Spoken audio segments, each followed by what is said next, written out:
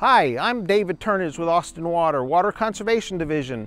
Today we're going to talk about irrigation controllers, how to set the date and the time, setting a program's starting time, run times, and the days to water. All at the same time we'll avoid overwatering, overspray, and runoff. Now let's go to the controller. So here we have a typical irrigation controller. May not be the same one that you have at your property, but they all basically have the same features. You need to make sure your date and calendar is correct, and then we're gonna move on to specific steps, which will include setting the date and the time, setting a start time, run times for each station, and assigning a specific watering day that's appropriate for your property. Once you've established power to the controller, we can move on to the next steps of programming. The first thing we have to do is make sure that our date and our time is correct on the controller. Simply do that by turning the, the dial to the calendar and set the day, the month, the year, and move on to the correct time.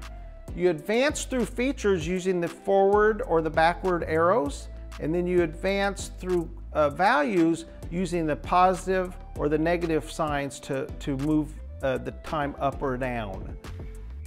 Next, we're gonna set our program starting time. To set our program starting time, we need to make sure we've identified the program we're on. In this example, we're using program A. Most controllers have multiple programs. Program A, starting time number one, will set for three o'clock in the morning, advancing time using the plus and minus symbols. After we've set our starting time, we can move on to the next step, which is setting our station run times. Station run times gives you the chance to schedule the runtime for each specific station. Runtimes will be variable based on the plant material that we're watering and the type of component that we're watering it with.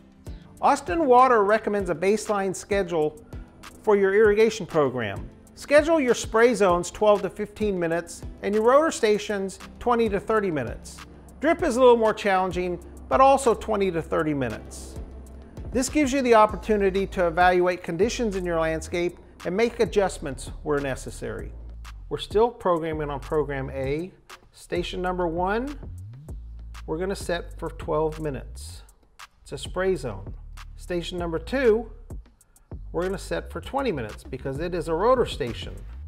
Move through the rest of your stations, however many you have. After setting our run times, we can move on to the final step of building our program, that's setting your watering day. Austin Water has specific days for your address. Refer to Austin Water for the current watering schedule. After setting our watering day, we've completed our program. Simply turn the dial back to auto and your controller will run your program on the day at the time that you've scheduled for the run times that you've assigned.